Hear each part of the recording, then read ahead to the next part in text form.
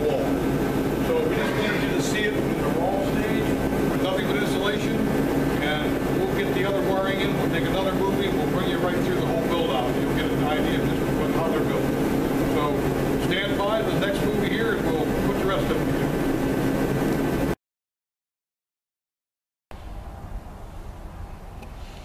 Welcome back to M and R. We're here taking a second look at this trailer in which you've seen part of the film earlier. And at the time we looked at the film earlier, I believe we talked about the plywood was going on the wall, the electrical was hanging on the wall, and uh, basically that's where we were. We were just getting started.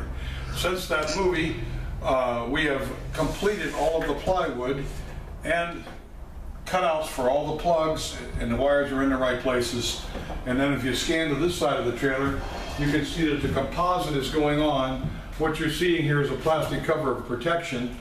And once you pull that protection off, you can see it up here in the roof. It's solid white. So the ceiling is in this trailer. Uh, one side's done on this side. What they're doing is they're setting themselves up for the hood. This opening here is for the for the cooking hood. That's the fan system going through. This wiring is sitting to wire the hood on top. It'll come into a switch before it goes out. Uh, these additional openings you see hanging on the, in the ceiling, this is for the two control fans that are 110 to pull the air down into the unit to keep the, uh, it helps bring air into the hood to eliminate the hood from pulling extra air out, out of the rest of the trailer, which saves the air conditioning. Uh, we have other vents. We have three air conditioners on this trailer, and they're set up with the wire harnesses ready.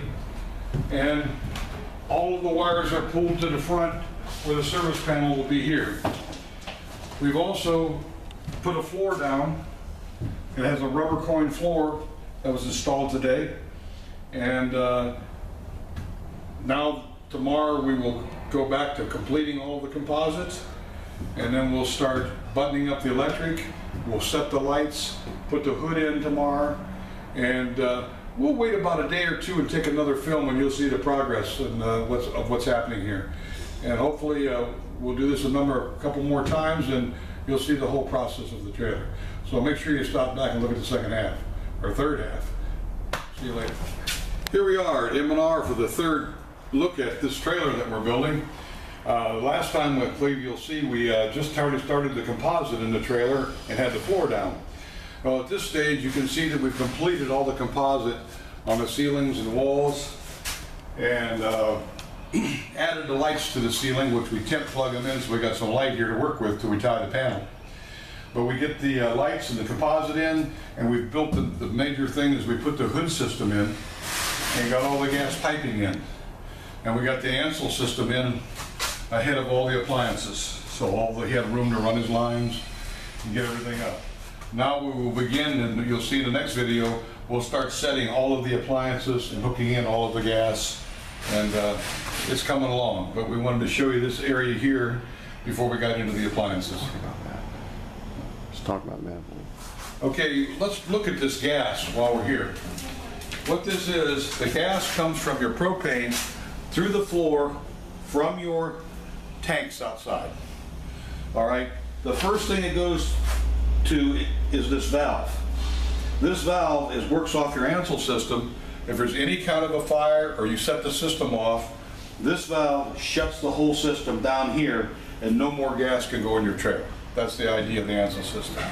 Okay, something else we do, we come out of that valve then into a solid manifold. There's no T's above the floor line. Your solid manifold, you can see we have in this trailer, we have one, two, three, four, five, six appliances that will be gas driven. So there's a separate feed for each one of the manifold. And on this side, you will see there's a valve on every one of them. So every appliance can be shut off at this point. The other item we do, if you'll look, you will see a gas gauge here on the top. This gas gauge is just kind of a safety factor, so when you walk in your trailer, before you start lighting burners or anything else, if you take a look at this gauge and you see you still have six, seven pounds on there, even though it's not leaking, if you've left your lines pressurized and you come in in the morning and there's no pressure, that means you've got a leak somewhere. So a quick look at this will keep you from maybe blowing yourself up. So we put these on every gas system. And, uh, you know, it's not required, but it's important. So that's what we do with our lines, just to keep you safe. And hopefully on the next movie, we'll have all the appliances around here, and it'll start looking like a trailer. It kind of looks like a mess now, but that's part of construction. So we'll see you in the next movie, and I think you'll see the difference.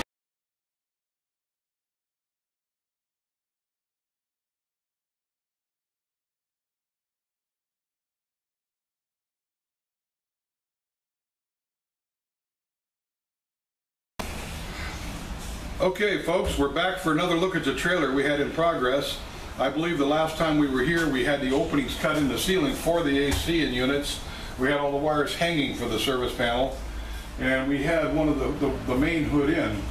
Well, since that time, we've uh, completed the wiring, brought the wiring all down inside a panel, hooked the panel up, and they're working on finishing it up and building the chase for it. And they've are setting tables at this time.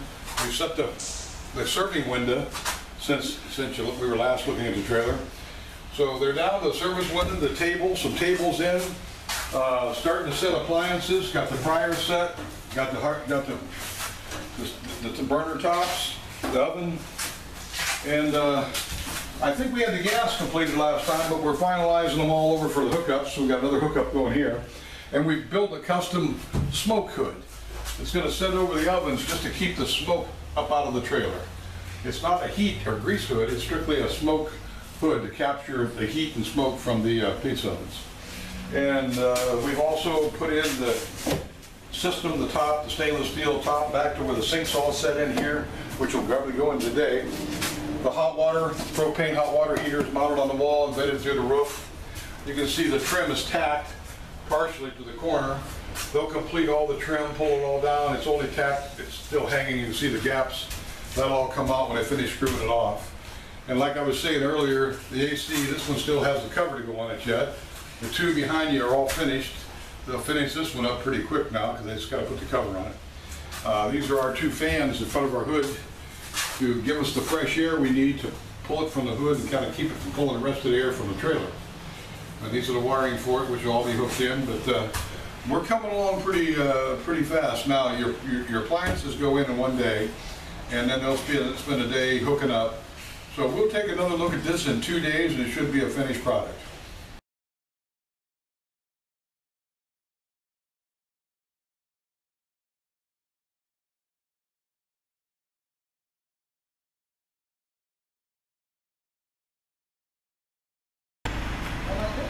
Here we are, back at the uh, trailer that we were doing in the Progressive uh, movies, and this would be the last movie. We have completed it. It's getting ready to ship Monday morning, and today is Friday.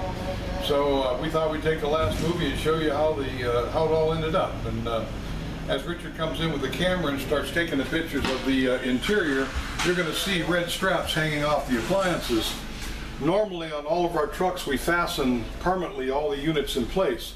Because this trailer will be in a fixed position and going to stay stationary, the owners wanted to be able to move the appliances back and forth, but they still have to move the trailer once in a while, so we set up some hook systems and straps which they can be put on when they transport it, take off when they're permanently set up, and still move their appliances. So there's a lot of options, uh, it it depends on what you're doing, how you're doing it, what you need. We can fit whatever you, you want to do. Well, let's take a look at it finished. You can see uh, pretty well the lights and everything was in before. The ACs are finished covered now. The shelving's up. Uh, all the appliances are in place. The ta- large table's in place. The windows, the shelving over the windows. We got, uh, the hood system was completed before, but now you can see the reasoning. You'll see the new hood sticking out here. We build this hood in place. This is basically just a heat hood to capture the heat from this oven and a large fan on the ceiling on a switch to pull the heat out off this big oven system. That way it's not just pouring heat in your whole trailer. But uh, it gives them a lot of room. They have one more appliance they're gonna, I guess, install later here. We have a hookup for them, there'll be a gas line here. And I think we showed you before the gas line setup, but there's how it sets with equipment around it. I think you've seen it last time just sticking out of the floor. So that's the way it ends up complete. Plenty of room to get your, get to your handles and shut offs and see your gauges. And it all ends up finished back here. Your actual speed, your, your speed control fan off this hood is set right here under the control switch. And it's variable speed, so you can raise it or lower it based on the amount of heat or if you're running both ovens or one. Again, behind me, you got your finished product in your hand sink. Got your hot water, gas heated hot water heater, your shelving unit, and this is uh, your your shelf, your tray for your sinks.